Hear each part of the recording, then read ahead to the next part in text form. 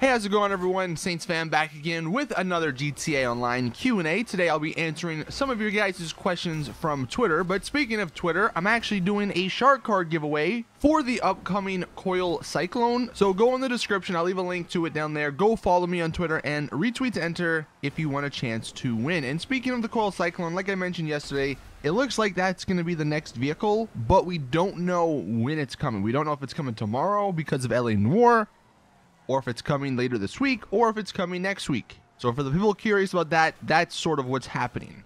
Anyway, hopping into the questions. This first question from Jason is actually very interesting because while it's not technically related to GTA, this story has been everywhere. If you haven't heard of it, you're probably living under a rock. But Battlefront 2, the new game that's going to be coming out, I think this week or something, there is a huge, huge controversy with it regarding their microtransactions. And this question, not a GTA question, but what's your opinion on the Battlefront 2 microtransactions? What do you think of the game and will you be getting it? To answer the second question, I was going to be getting it because I was really looking forward to the story and I was really looking forward to just, you know, having another Star Wars game. But I'm not going to be getting it now. I may wait to see what they do if they actually fix the problem. But for those wondering, the microtransactions in the game, the way it works, they have the heroes. They have like Darth Vader, Luke, and all them, but they actually put them behind uh, like a, a play wall, if that makes any sense. Basically, you have to play for like 40 hours of game time to acquire enough credits to purchase these heroes, to purchase Darth Vader, to purchase Luke. But the problem was that you could also buy these players with real life money, aka microtransactions.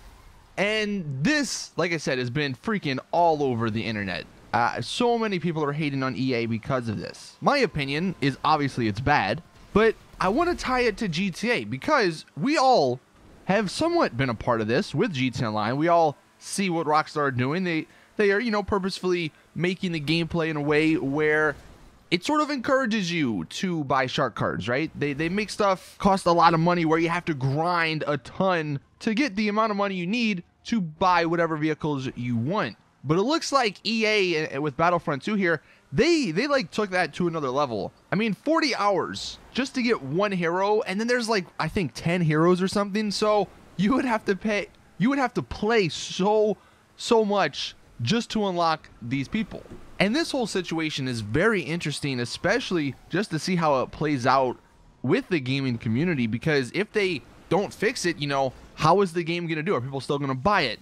And that is going to affect other gaming companies. Like, let's say Take Two were planning to do something similar to this. They were planning on going even crazier and even hard, more hardcore than uh, what they did with GTA Online. Well, maybe they see the outrage and the reaction to this and they change their stance a little bit. They're like, okay, we can't actually go too far with these microtransactions and with this grinding. We actually have to tone it back a little bit.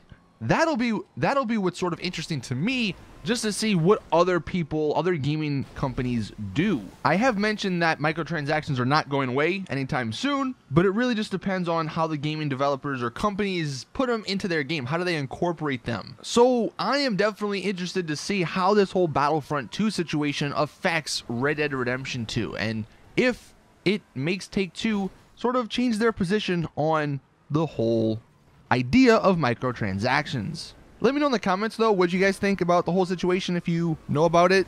But yeah, it's definitely been a crazy couple of days for Battlefront 2.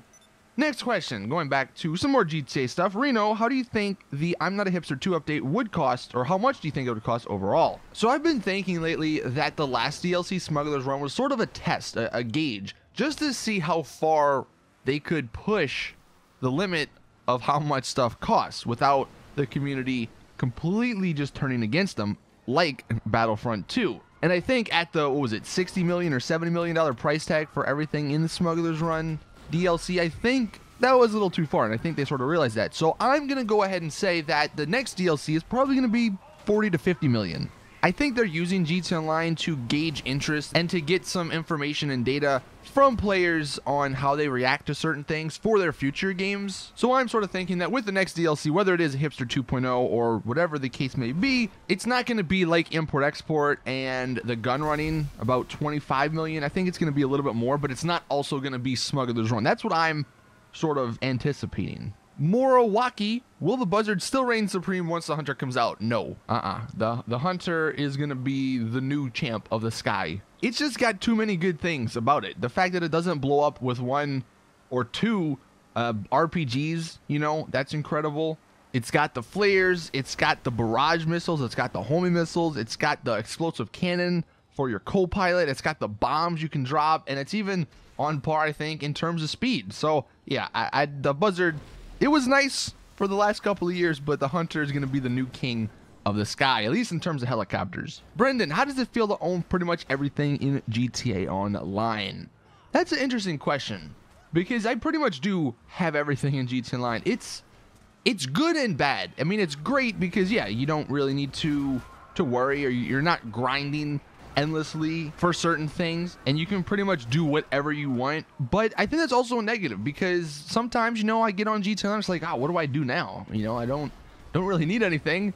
So you end up just doing like nothing. But I'm kind of curious if you are someone that owns pretty much everything, how do you feel about that? Like, do you like the fact that you own everything, or do you wish that there was still stuff you left or you didn't buy so you could work towards getting it. Thomas, should I save up for the mansions? So, look, I don't know what other people or other YouTubers are telling you guys, but I've said before, it's not 100% guaranteed. This is all just speculation. It's all just rumors and leaks. We don't know what the next DLC is. We don't even know if it's going to be Hipster 2.0. That was just, again, another rumor, another leaked rumor that, you know, has been out there.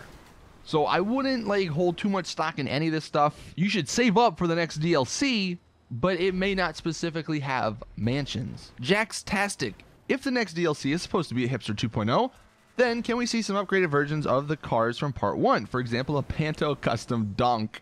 I would kind of like that. I mean, that'd be if they took some of the cars from Hipster 1 and made some crazy and funny versions. Yeah, why not? It's probably not going to be for everyone, but hell, for the people who want some stupid thing like that, sure. You know, why, why not put them in the game? I I kind of hope we get a lot of vehicles like the Rapid GT Classic. I absolutely love that car and I love the customization on that car. So I'm hoping we get a lot of stuff like that. Maybe even for Benny's because Benny's is or hasn't been used in quite some time. So that's sort of what I'm looking forward to. But yeah, I would like to see some old stuff get some new upgrades. And then the final question from George, do you think the release of LA Noire will give L an LA Noire update to GTA to get people to buy the game because Rockstar love money and new DLC for game equals money? I don't know about that. However, your question did get me thinking what if them releasing LA Noire is sort of a, a gauge of interest for players wanting to be a cop? One thing, since the beginning, we've said as a community that we want a police DLC. We want to play as a cop or have the option to do that. So maybe with this LA Noire release or re release, they're seeing if it does well. They're seeing if there's still interest out there for players who want to play that sort of character or that sort of profession. And if there is, if it does well, then hell yeah, maybe we do get a police DLC sometime next year for GTA Online.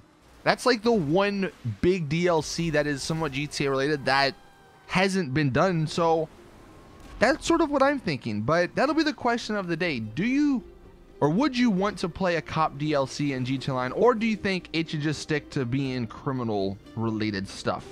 Anyway, that is it with the video. Thank you all for watching. Please drop the video like if you did enjoy, subscribe for more awesome GTA content, and as always, I'll see you guys in the next one.